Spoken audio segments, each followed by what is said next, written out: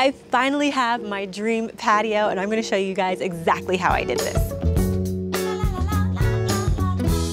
Hey all, hey, it's Ashley Renne and welcome back to my sustainable lifestyle, family, and tech channel.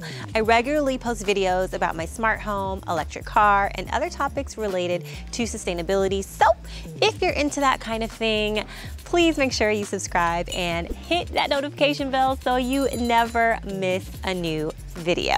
Now, today's video is super special. It's about my DIY patio makeover project. Y'all, I am so proud of what I did. Like, I cannot wait to show you how I did it. Before I do, let me just make one thing clear. I am not a designer. We built our home three years ago and I still have not gotten around to really decorating. I don't know, is it just me? Let me know in the comments below what home projects you've been procrastinating on. Anyway, without further ado, here is how I transformed my dull, lifeless patio into an outdoor sanctuary. I essentially had two different sections to play with. Part of my patio is screened in and we access it directly from our bedroom. Since it's enclosed, we wanted this space to be where we could relax, lounge, or even bring our laptops out to work if we wanted to. The other part of my patio is completely open and filled with lots of sunlight, which makes it perfect for dining and filling it with vibrant flowers and plants. Now I've traveled all over the globe and I wanted this to remind me of my world adventures. So the screened in section is designed to kind of feel like the cabana area of say like an upscale hotel, while the open air section of my patio is designed to feel like a whimsical outdoor cafe in some beautiful faraway place. My husband calls it Cafe Renne.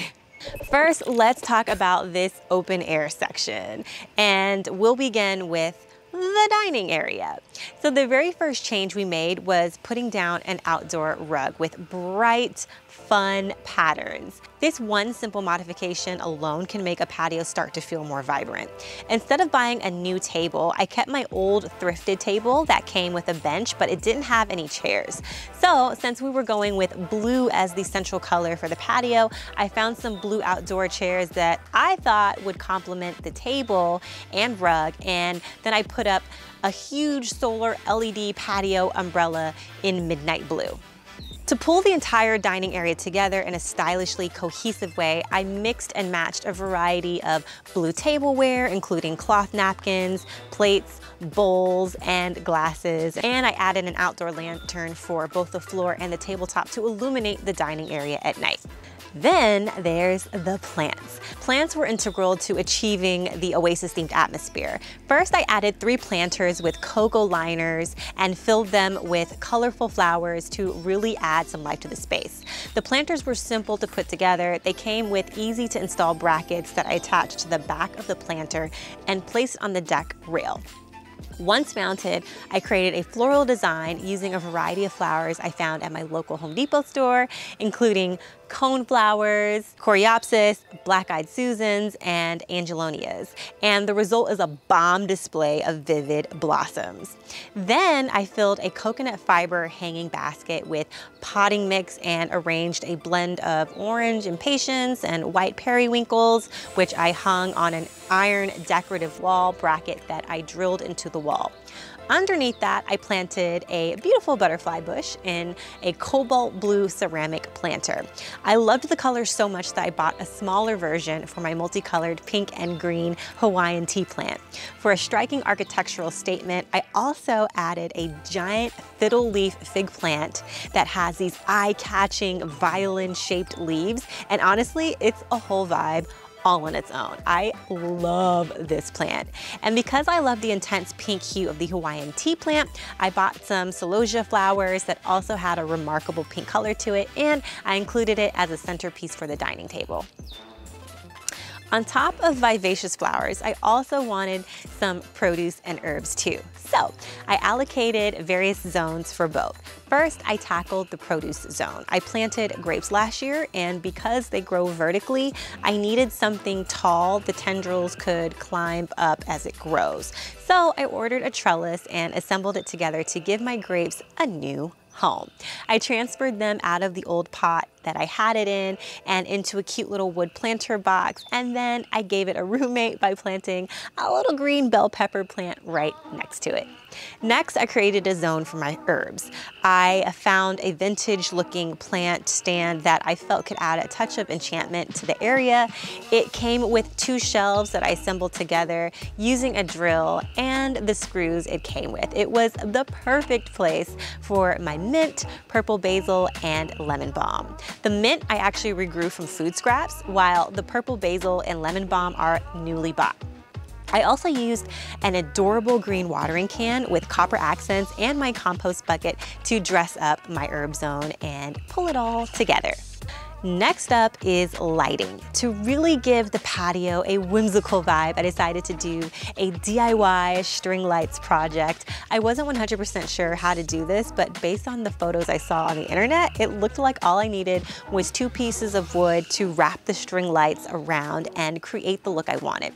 So I went to the Home Depot and I bought some eight foot long two by two pieces of wood that I could drill into my deck rail. Then I asked an employee to cut them to the exact size I needed, which was six and a half feet. I painted the two pieces of wood the same color of my deck to ensure it seamlessly blended in. Once I added multiple coats of paint, I used deck screws to secure both pieces to my wooden rail, and then we strung remote control operated dimmable lights all around the patio. This gave the space a whole new look to transform into at nighttime. With outdoor string lights, you can easily transition from day to night with the flick of a switch, giving you a versatile space to enjoy in a myriad of ways. All right, now let's move on to the screened in section of the patio.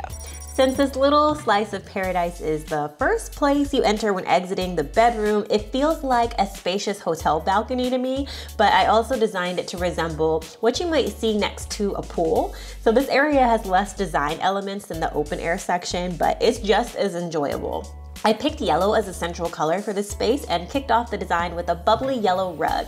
I topped the rug with a bohemian style outdoor wicker daybed.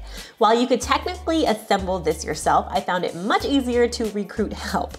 Working together, my husband and I were able to put this together much quicker than if I had attempted to do this alone.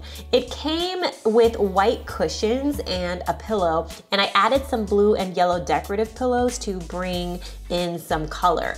The boho style table I ordered was even speedier to assemble with just a tabletop, a bottom layer, and four legs to put together. Then to give the daybed a more, I guess, rustic feel, I weaved stringy ivy leaves through the wicker. Lastly, since this is supposed to resemble a poolside atmosphere, I added a large palm plant to bring on the tropical vibes. This is honestly some of the most fun I've had decorating my home. Like I said, I've just kind of been avoiding stylizing a lot of the rooms in my house because it's just so much pressure to come up with ideas, pick out colors, and then commit to a final design theme. I've only done a few rooms, like the nursery, my office, and a couple rooms in the basement, so this patio DIY challenge really helped me to not only explore my creative side, but actually execute my ideas instead of talking myself out of them.